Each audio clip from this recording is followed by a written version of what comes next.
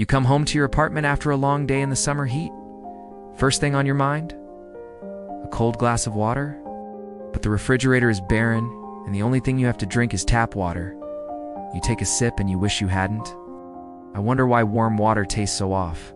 Well, in this episode, we re-responding to a frequent question. Why is cold water more satisfying to thirst than warm water? First, taste perception is everything. Cold water actually numbs your taste buds, so you do unreally notice any of the bad stuff in there. Warm water does the opposite. It enhances the flavors. And that's with the minerals and dissolved solids in tap water included, which can taste metallic, bitter, or just off.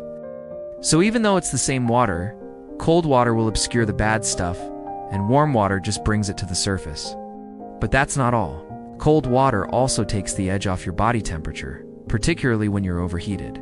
That refreshing feeling, it's real. Your body is actually grateful to you for making it feel better. And when it comes to thirst, our brains associate cooler water with better hydration.